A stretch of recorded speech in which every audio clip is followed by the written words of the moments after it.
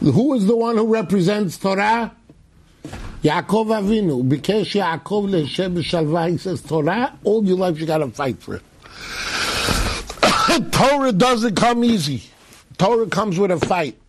You could do chesed without a fight. You could do gevurah without a fight.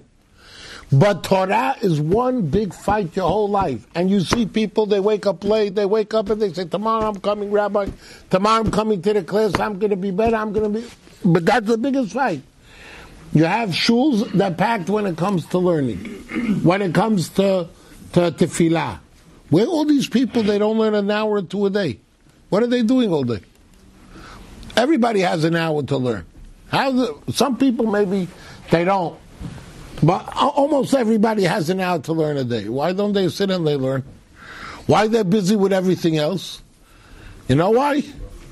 Because there's a big fight against learning Torah.